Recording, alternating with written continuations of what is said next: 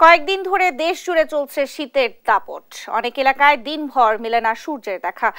পরিস্থিতি জানাতে সরাসরি যুক্ত হচ্ছেন চুয়াডাঙ্গা থেকে খায়রুজ্জামান সেতু। সেতু চুয়াডাঙ্গায় এখন শীতের দাপট কেমন দেখছেন? আমাদেরকে বিস্তারিত জানাবেন। ধন্যবাদ আহ, চুয়াডাঙ্গাতে আপনি আপনি যেমনটি বলছিলেন আর কি ঠিক তেমনটি কিন্তু কিছুক্ষণ আগ পর্যন্তও ছিল যে কুয়াশা কিন্তু বৃষ্টির মতো কুয়াশা ঝরছিল। সেটা কিন্তু ইতিমধ্যে আধা ঘণ্টা মতো হইলেও যে সেটা কিন্তু সেই সেই ধরনের কুয়াশার প্রাদুর্ভাব কিংবা ধীরে ধীরে বৃষ্টির মতো যে কুয়াশা ঝরছিল ওইটা কিন্তু আর এখন পড়তেছে না। তবে কুয়াশা আছে। আমার পিছনের দিকে একটু দেখলেই আপনি বুঝতে পারবেন যে কুয়াশা কিন্তু আছে কিন্তু কুয়াশা ওই পরিমাণ কুয়াশা নয় তবে কুয়াশার কারণে একটা ঝাপসা ভাব অন্ধকার মতো একটা ভাব আছে। এখনও কিন্তু চুয়াডাঙ্গাবাসীর সূর্যের মুখ দেখিনি। এই শুধু আজকে না, বেশ কয়েকদিন ধরেই কিন্তু চুয়াডাঙ্গাবাসী সূর্যের মুখ দেখছে না এবং সূর্যের মুখ যদি দেখেও থাকে সেটা কিন্তু বারোটার পরে। তবে আজকে কিন্তু ইতিমধ্যে বারোটা বেজে গিয়েছে বা এখনও পর্যন্ত চুয়াডাঙ্গাবাসী সূর্যের মুখ দেখতে পারেনি। তবে আবহাওয়া অফিসে আমাকে যেটা জানিয়েছে সেটা হচ্ছে যে এখনও ঘন্টাখানিক লাগতে পারে হয়তো বা সূর্যের মুখ দেখতে। তবে সূর্যের যদি সূর্যের মুখ দেখলেও কিন্তু সেই সূর্যের যে উত্তাপ, সেই উত্তাপ হয়তো বা থাকবে না। শুধু তাই নাই, এই উত্তাপ না থাকার কারণে কিন্তু এখনও পর্যন্ত চুয়াডাঙ্গাতে মানে রাস্তাঘাটে যারা চলাচল করছে তারা কিন্তু গরম পোশাক পরে হচ্ছে রাস্তাঘাটে চলাচল করছে।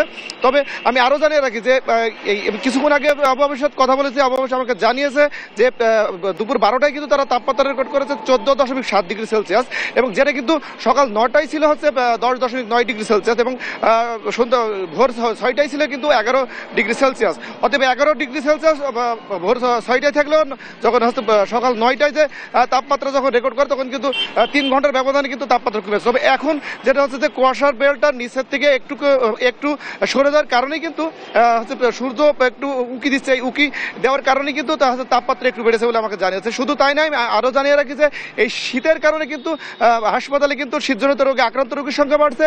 এর ভিতরে কিন্তু অধিকাংশ কিন্তু শিশু ভর্তি হচ্ছে। আমি গতকাল এবং আজকে টানা দুই দিন খোঁজ নিয়ে জেনেছি। যে চুয়াডাঙ্গাতে কিন্তু প্রতিদিন সদর হাসপাতালে প্রায় অর্ধ শতাধিক রোগী শীতজনিত রোগে, অর্থাৎ ঠান্ডা জনিত রোগে আক্রান্ত হয়ে ভর্তি হচ্ছে। এর ভিতরে কিন্তু অধিকাংশই হচ্ছে শিশু শিশু রোগী এবং কিছু আছে বয়স্ক। এই শিশু রোগী মূলত বেশি ভর্তি হওয়ার অসুস্থ হয়ে ভর্তি হওয়ার কারণ হচ্ছে যেটা, সেটা হচ্ছে যে যে চিকিৎসকদের বক্তব্য যে অল্প ঠান্ডা কিংবা শীতজনিত কোনো রোগে আক্রান্তর সম্ভাবনা কিংবা লক্ষণ দেখলেই কিন্তু চিকিৎসাটা বলছে- যে অভিভাবকদের হাসপাতালে নিয়ে নেওয়া কিংবা নিকটস্থ স্বাস্থ্য কেন্দ্রে নেওয়ার জন্য। এতে কিন্তু অল্পতেই কিন্তু শিশু মানে শিশু রোগীগুলো সুস্থ হয়ে যাবে। আর যদি গুরুত্ব না দেওয়া যায়, সেক্ষেত্রে কিন্তু যে শিশু রোগী কিন্তু আক্রান্ত পরিমাণ বেড়ে যাবে আর কি।